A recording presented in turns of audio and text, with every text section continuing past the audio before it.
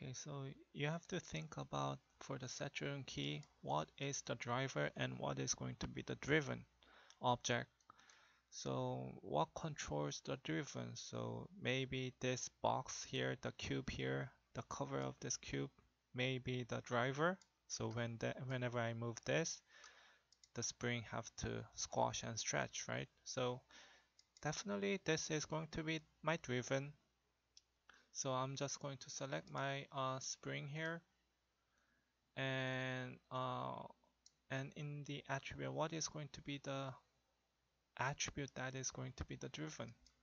You can use the scale as a driven. However, I don't recommend using the scale because whenever you try to make a squash, you can see that not just the length is squashing, but also the thickness of the the spring is uh, flattening out, right? It's uh, squashing too. So I want to maintain the volume of the spring. So instead of using the squash, what I'm going to do here is I'm going to use my poly helix here. Go in here and there's going to be the height which I can use for the squash and stretch. So now if I select that and middle mouse and drag it in the viewport, you can see that it's going to have that squash and stretch nicely without any uh, making the volume thinner or thicker. Okay, so I'll use that one for my driven. So it's not going to show up here. So what you have to do here is you have to select the polyhelix, the area that the input area that you want to put in, and then hit the load driven area here. Then you're going to see both. One is going to be the translate, rotate, and scale, which is going to be on the top here. And the other one is going to be the part where what was uh, below. So select that and select the height. Then what's going to be the driver?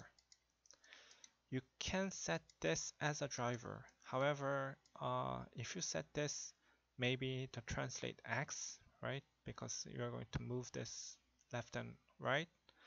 You can use that as a driver. However, it's going to work with using this. If you have just this movements, it's going to go with it together with the squash and stretch.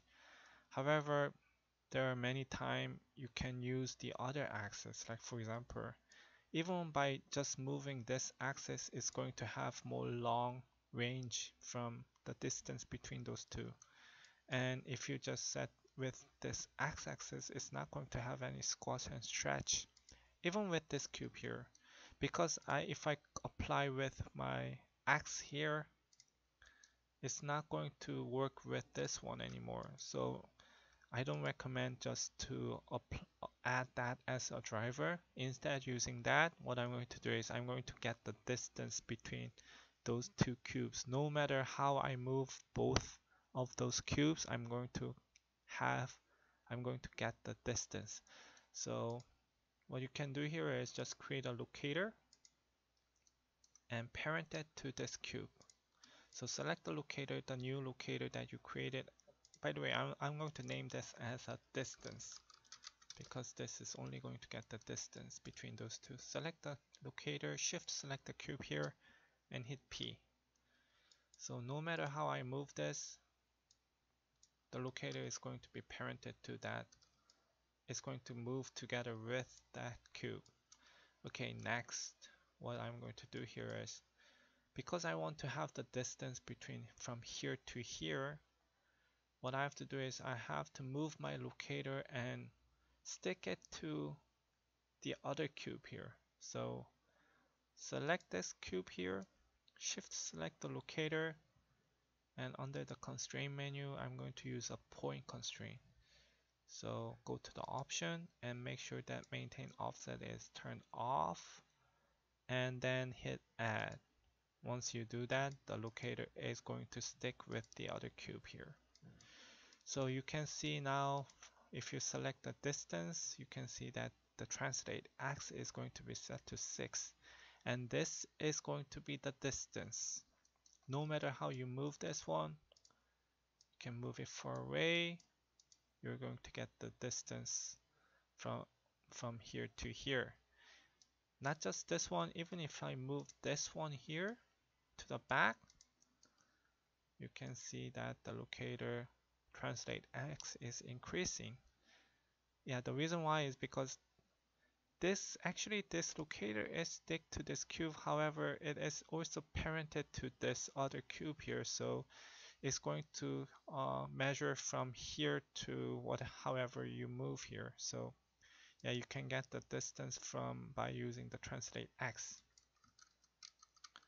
So I will undo this and then uh, put my driver as my locator here, the distance locator. I'm just selecting the locator and put that distance locator as my driver. And translate x is the distance, so I'm going to click that one and set a key. And then just move one of your cube here. It doesn't matter, you can move that one or this one. I think, yeah, it's better to move this one for now because right now it's not and and before we move on why don't we parent this uh, to here okay? So select the spring shift select the cube here and hit P. So now whenever I move my cube the spring is going to follow this cube. And next what I'm going to do is whenever I move this one I want this part to stick to the other cube here. So just move it how, how you want select the helix and just select the height and middle mouse and drag it so that it's going to match up with that distance. And once you do that hit key. So from here to here I'm going to have the squash and stretch. However as you can see if I move farther it's going to not it's going to have the range limited from here to here, right?